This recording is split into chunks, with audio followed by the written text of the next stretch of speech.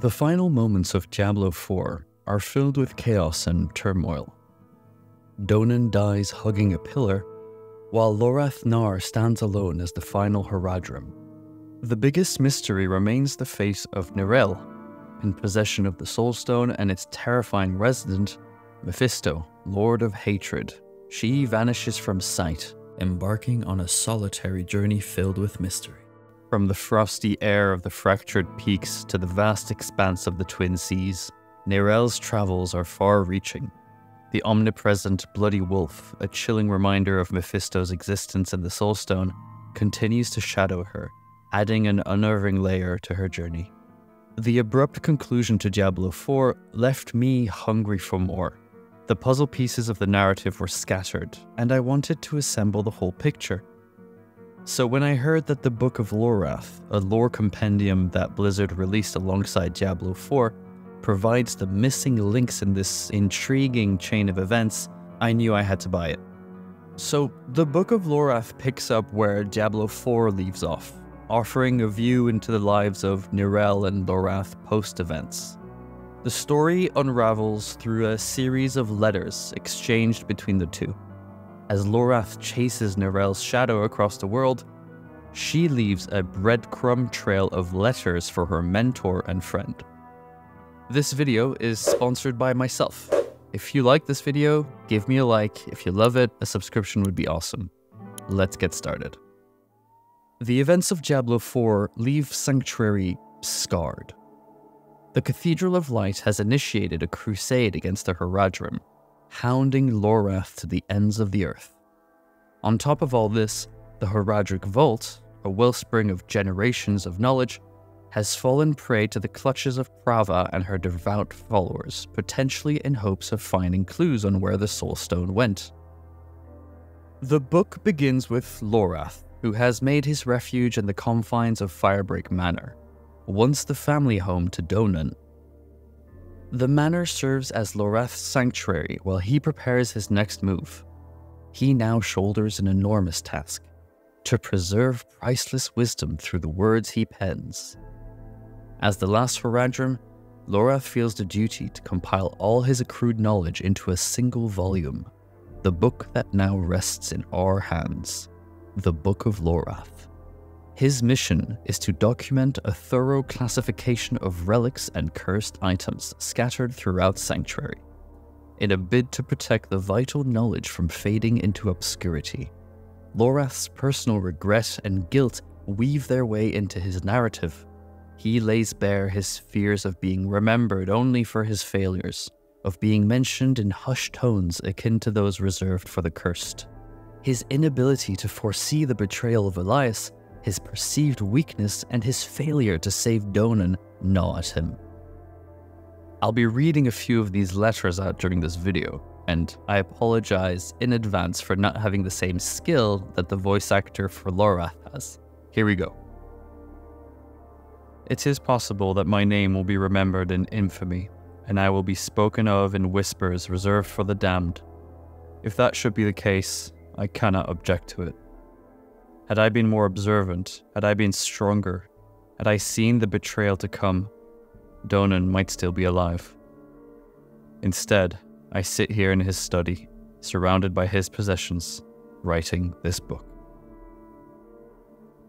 Despite the grim events, there's a glimmer of hope. The last reserve of Horadric knowledge is safeguarded within Lorath's mind. His writings are primarily intended for Neyrelle, as he documents the relics, cursed objects, and the lost knowledge of the Horadric Order, he nurtures a hope that these might be of assistance to her in her journey. From Firebreak Manor in Scosglen, Lorath makes his way south towards the Fractured Peaks, reminiscing about the trails that led him to Scosglen in the first place. To fight off the cold, Lorath wears his late friend Donan's fur cloak. After many days of travel, Lorath finds himself standing before his cabin nestled in the fractured peaks. The cabin where the events of Diablo 4 started when a wanderer, that's you by the way, came looking for him. Within its familiar confines, he discovers an unexpected find a letter from Neyrelle, hidden in an empty bottle of ale. A soft murmur of hope in the cold, lonely cabin. The letter has been left in anticipation of his return. In this letter, Neyrelle's concern for her mentor is evident. She implores Lorath not to drown his troubles in ale, a haunting reminder of past habits. She absolves him of any guilt related to Elias and cautions him against the false peace that drink offers. Neyrelle's knowledge of Lorath's possible journey, albeit cryptic, leads her to scatter letters along her path in the event their paths might overlap. Please don't be angry over spiledale. I know you, and I won't have you turning to old habits. What happened with Elias was not your fault. You know that already. Drink won't make you believe it or forget what happened. Before I left, you hinted that you might be taking a journey of your own. In your typical stubborn way, you remained maddeningly cryptic about it. So I am going to leave letters like this along my way, just in case your road brings you to any of the same places. You might have been looking forward to some peace and quiet. Sorry to say, you're not going to be rid of me that easily, old man. Wherever you are going, please be watchful. Be careful. You've managed to make yourself a personal enemy to quite a few demons over the years, not to mention Prava and the cathedral. It seems that their journey nearly crossed paths. We've seen the endgame cinematic, and we can tell that Neyrelle passed through Yelesna before heading to the Horadric Vault to leave her letter for Lorath. She then made her way south and made a stop at Lorath's cabin in case he was ever to come back. Lorath's journey evolves with the discovery of this letter. He still shoulders the responsibility of penning down the book, a work of knowledge in the world riddled with chaos. Now, an added purpose accompanies him to trace Neyrelle through her letters, to find her and help her however he can. He decides to write a letter of his own and writes to Neyrelle about how her letter filled him with hope and also how she now owes him a good bottle of ale next time they see each other.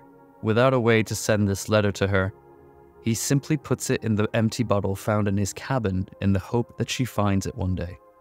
The journey forward promises to be as much a pursuit of knowledge as it is a quest for a cherished friend. Lorath makes his way from the fractured peaks to the swamps of Hawezar, where he records many relics such as Valtha's cauldron and Thaisa's ingredient pouch. He eventually makes his way through Hawezar by the skin of his teeth after fighting many snakemen, which he dispatches with ease.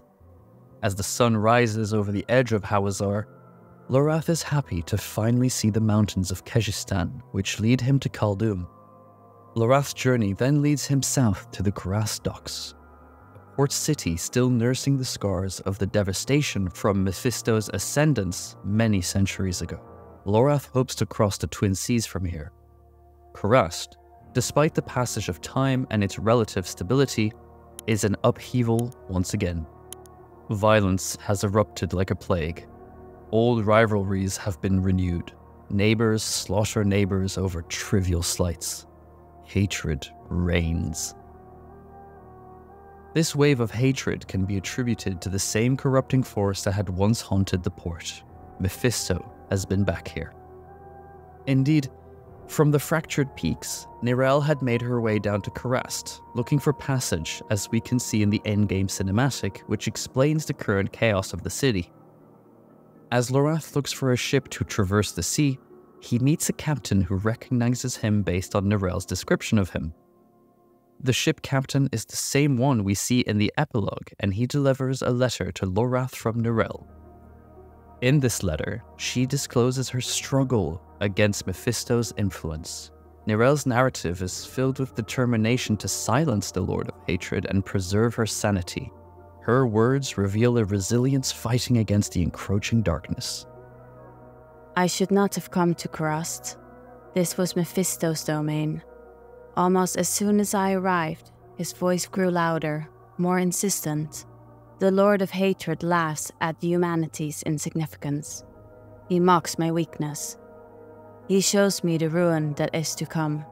Sanctuary devoured. I fear the raging storm inside my head will drive me mad. Before coming here, I thought I was learning to ignore his voice and see through his visions. But I should have anticipated this. I was a fool. No doubt you would have tried to warn me if you were here. Perhaps I would have listened. I am leaving Kurast as quickly as I can, and I will not repeat this mistake. I must seek some way of silencing the Lord of Hatred. I must find a way to keep my sanity. But don't worry, old man, I am not lost yet. It is here that Lorath begins to question Neyrelle's reliability as a narrator. Despite her belief in her control over the situation, the reality portrayed in Kurast tells a different story. Neyrelle, burdened with the Soul Stone, has inadvertently become a vessel for hatred, her presence an instigator of chaos. The dissonance between her perception and the unfolding reality hints at the insidious reach of Mephisto's influence. After an absurd amount of gold was demanded, Lorath found passage on the same ship that took Neyrelle. Lorath was on his way to Aranok after a quick detour to the Scovos Isles. Unfortunately, not everything went as planned, and before reaching Temis, Ascari's ships forcefully convinced Lorath to turn back. Lorath wanted to exchange a relic for information, but it was not to be. The boat was now on its way to Aranok, the town of Lut. Lorath's journey extends through Lut New Tristram, and finally leads him back to his former home in Westmarch. Here, he uses his father's blacksmithing skills to craft a shield with protective properties, which he infuses into this book through a special ritual. Lorath unfortunately, finds no trace of Neyrelle in Westmarch, indicating that she had not ventured this far west. With Westmarch behind him, Lorath made a strenuous journey north through the Dreadlands, eventually reaching Ivgorod. His destination, the Floating Sky Monastery, the headquarters to the monks of Ivgorod, nestled within the Tamoe Mountains. The monks of these mountains are known for training their minds to withstand demonic influences, a clear struggle that Neyrelle is suffering with. Lorath arrives expecting to find Neyrelle, but discovers that she has moved on once more, spurred by a vision of Lorath crossing the Dreadlands. His only lead to Neyrelle is another letter left behind, in which she reveals that her time with the monks has helped her manage the voices and visions indicating improvement in her condition. Neyrelle's account, as usual, carries a note of optimism. Hello there, old man. If you are reading this, then I might have become a seer since you last saw me. When I left the other letters for you, I thought there was maybe a chance you would find them. But up here, at the top of the world, not a chance at all. I had this dream, you see, I saw you walking east through miles and miles of ash. I figured that had to be the Dreadlands, which meant you were heading this way. That's why I'm writing this letter, and it's also why I'm leaving. Don't be angry. Well, I know you probably will be angry. Please don't be hurt. I'm doing this to protect you. I was honestly planning to leave anyway. I've learned as much as I can from the monks here and I think their techniques are helping me to ignore the voices and the visions. I am doing much better than I was. I also worry about staying too long in one place. It's better for me to be alone, and selfish of me to seek the company of others with the burden I carry. I don't know where I will go from here. I only know that I can't let anything happen to you. I've lost too much already. If you got hurt because of me, I think that would destroy me. Goodbye, old man. In contrast, the monks Lorath encounters in the monastery tell a different story. Neyrelle's affliction had grown so severe that many refused to approach her, opting to train her from a distance. A particular monk, whose voice shook with fear as he spoke, labeled her as an agent of pure chaos and hatred. Despite her obvious struggle against such a fate, the monk's fear led them to accommodate Neyrelle in a guest hut. Lorath, upon reading this letter, becomes concerned. He fears he might be losing Neyrelle to Mephisto, or worse, that she might already be lost, and that it is not Neyrelle writing these letters. Her recent letter is the last trace he finds of her, leaving him with more questions than answers as he ventures on to Xiansai. This is where the Book of Lorath leaves us. The trail of Neyrelle ends abruptly, and Lorath finds himself at the precipice of a crucial decision. Completing his book, a task of immense historical significance, and finding Neyrelle, his beloved student and friend. He simply cannot do both, apparently. The island of Xiansai now lies ahead of him, but Lorath is in turmoil. He is grappling with a profound internal conflict. Both pursuits, the book and Neyrelle, are important to him, but the pressing demands of each task weigh heavily on his mind. After careful deliberation, Lorath makes a decision. He will finish the book first. His decision is informed by his hope that Neyrelle, more than anyone else, will benefit from reading his work. By documenting the shared history and knowledge they both possess, Lorath seeks to arm Neyrelle with the necessary information to cope with the Soulstone's influence. With the decision made, Lorath channels his energy into the completion of his book, but the thought of Neyrelle does not leave him. He makes a solemn promise to find and help Neyrelle as soon as his work on the book is done. This task, he pledges, will be his next priority, even if it is the last thing he does. As soon as I am done with this island, I'm coming to you. No matter where you are, I will find you and I will help you if that is the last thing I do, my head will go to the Tree of Whispers wearing a smile.